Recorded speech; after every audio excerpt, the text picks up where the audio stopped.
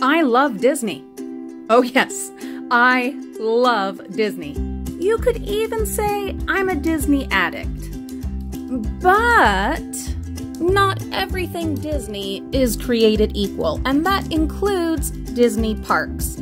For instance, today, let's point out the three things at Disney World that I just did not like when compared to Disneyland, noting that I do have a personal bias and preference for Disneyland, but I did my best to be objective. The first three things that I think you're going to want to know about when going to Disney World versus your regular Disneyland. The Disney World property is huge, absolutely ginormous, especially compared to Disneyland and its humble footprint. And because of this, there is a lot of traveling, a lot of movement, a lot of necessary planning and transportation to get from one location to another, from the resort to your park, from one park to another park, from that park to Disney Springs, and from Disney Springs back to either a park or your resort.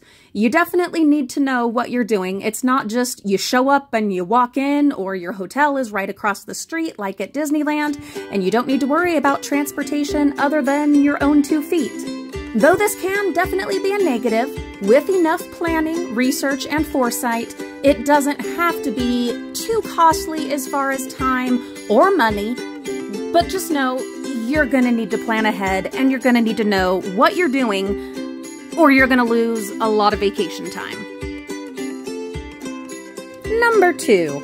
Oh, yes, weather. Florida weather. This may seem like an obvious one to many, many people, but if, like me, you are currently a Disneyland refugee, yes, that's what I've chosen to call myself, you are going to be shocked by the weather in Florida.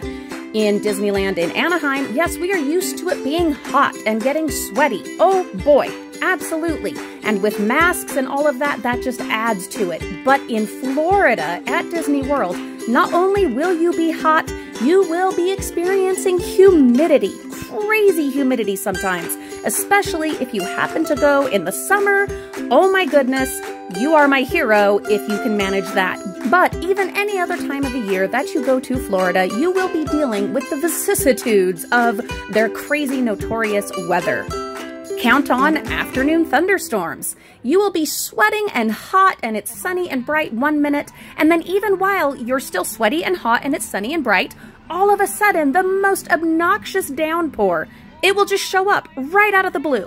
And so you'll get your umbrella ready or you'll put on your poncho, which you absolutely must bring. I don't care what time of the year you go, bring that poncho. You will just have gotten that thing over you, over your ears, over your backpack, and then the rain will stop.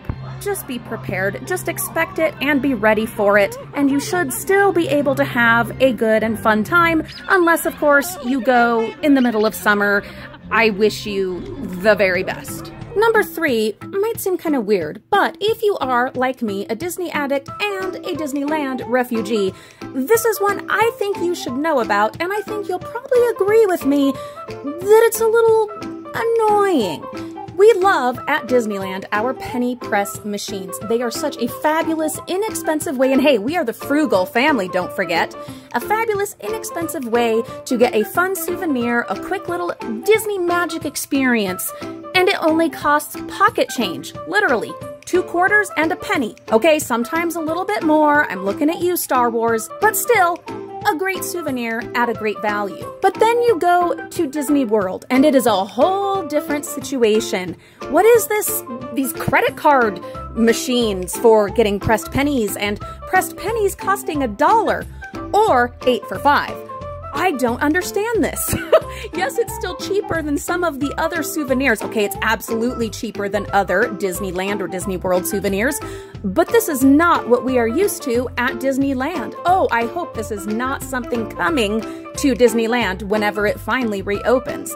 Let's cross our little magic fingers. But this is mostly what we saw in all of the Disney World parks, and it was, well, disheartening to say the least. We did find a few, just a few of the actual coin slot penny press machines, but they are scattered. They are few and far between. And then there were several we found that were out of order.